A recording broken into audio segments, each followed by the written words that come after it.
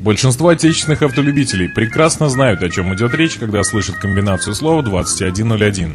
Ведь именно ВАЗ-2101 стал самым первым советским легковым автомобилем, выехавшим из ворот Волжского автомобильного завода.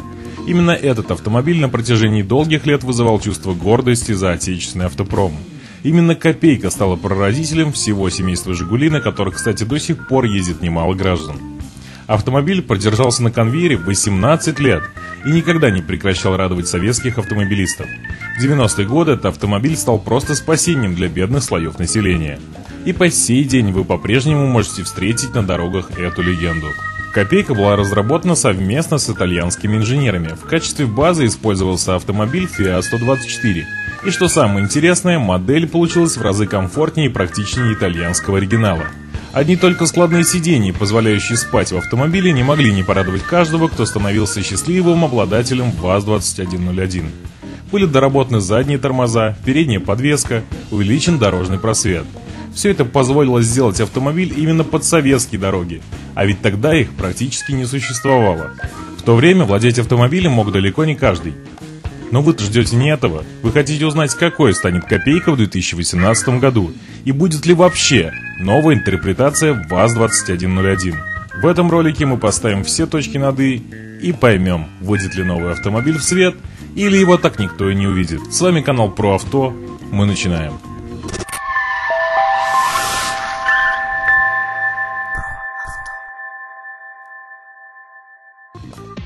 Обновленная 2101, уже ставшая ожидаемой, не имеет ничего общего с прежней моделью. Неизвестный дизайнер создал неузнаваемый рестайлинг, и узнать в автомобиле прежнюю легенду будет сложно. Разве что форма фар осталась прежней, спереди круглая, а сзади прямоугольная. В остальном копейка нового образца кардинально отличается от своего предка. Форма кузова удлиненная и обтекаемая, чем-то напоминает знаменитый Chevrolet Camaro. Под капотом, по предварительным данным, будет устанавливаться новый движок мощностью 200 лошадиных сил, что делает из модели настоящий спорткар. При этом, несмотря на высокий показатель мощности, обещанный расход топлива составляет 5,2 литра на 100 км в смешанном цикле. Новая «Лада Копейка» не редкость в отечественном интернете, но это лишь фото. К сожалению, по некоторым данным, все эти фотографии не имеют никакого отношения к тольяттинскому гиганту. Об этом мы сейчас и поговорим. Предположительно, весь поток информации начался с инстаграма одного из официальных дилеров АвтоВАЗа. В ленте была выложена фотография новой «Лада». Потом во многих источниках стали появляться новые фотографии концепта, что вызвало массу обсуждений предстоящего или непредстоящего события. У кого-то это вызвало смех, а кто-то искренне поверил в то, что отечественный автопром способен на такое внезапное переиздание. И все же, стоит это верить или нет? Конечно, не стоит, ведь никто официально не заявлял о выпуске данной модели. Можно только позавидовать мастерству маркетологов того источника, который запустил эту информацию в сеть. На деле же, спустя некоторое время после распространения в сети информации о новой копейке, АвтоВАЗ официально опроверг тот факт, что будет создана и выпущена новая копейка, заявив о том, что не имеет никакого отношения к этому слуху.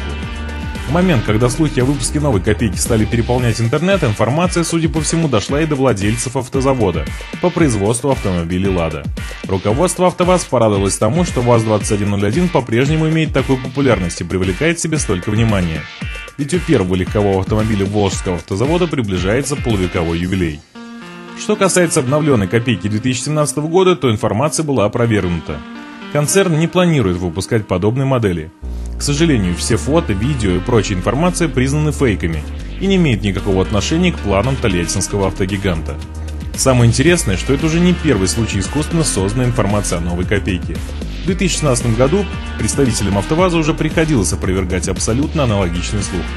Тогда нарисованная копейка гораздо больше напоминала оригинал. Но теперь вы знаете всю правду. А с вами, как обычно, был канал Про Авто. Подписывайтесь на канал, пишите комментарии, ставьте пальцы вверх. Увидимся!